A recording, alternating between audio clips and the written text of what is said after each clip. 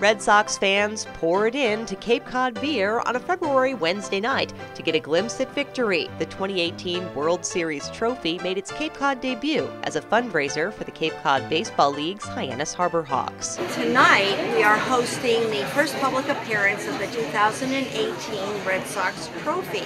This is the championship trophy that they won in November. And actually, people have asked me if it's like the Stanley Cup, you have to pass it around. I said no. You just can't kiss it, but you can see it. And there are times you'll see all four of them together. The Harbor Hawks used to have the worst field in the league, but they're hoping to soon have the best. Funds raised at the event will help pay for new dugouts. They have built a new field, and that's all working out great, and they have a new scoreboard, and that's great.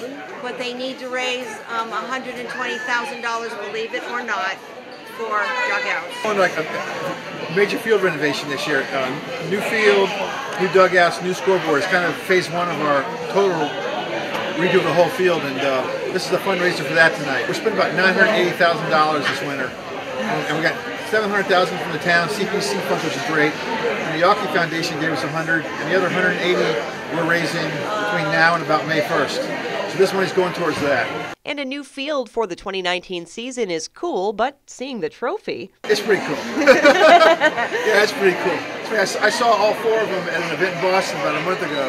Um, and uh, it's, it's pretty cool. We talked with some of the hundreds of fans who came out to get a close look at the Red Sox latest trophy. Went from Patriots Parade yesterday to Red Sox Trophy today. Pretty good week. I really wanted to touch it, but you know, I didn't want to touch it. But it was nice just to be next to it. You know, I get to see it in person. He grabbed it. He's not supposed to, but that's all right. They didn't seem to care too much. It was just so cool. I thought it was going to be more like one of those Super Bowl trophies where it's more pointed up, but yeah, and I look at it, it's so cool. It's nice to have both trophies though, right, yeah, this yeah. year? Uh, it's awesome. They, they live and breathe baseball, playing it, watching it, and this is a once in a lifetime thing. Uh, it was amazing. Like, seeing it in real life, like, seeing on TV is one thing, but, like, on real life, it's just It's just insane because I've always loved baseball, but then to see the trophy, I'm like, oh my god.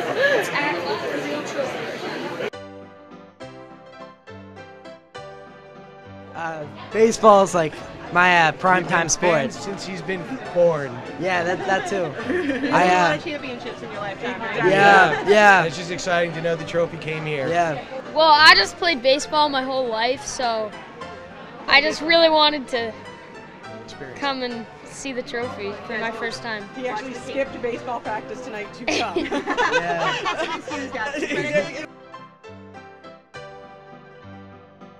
My mom uh, texted me earlier today saying, "Hey, you know, uh, the trophy's in town, so thought we might see it." And I was like, "Whoa, cool!" I mean, come on, I'm. I've seen four World Series championships in my life. How lucky am I?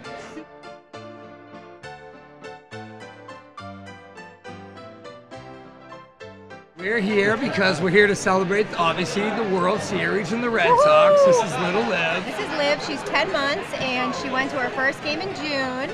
So she was there this year and she's excited they won the World Series and wanted to yeah. see the trophy. I love Red Sox.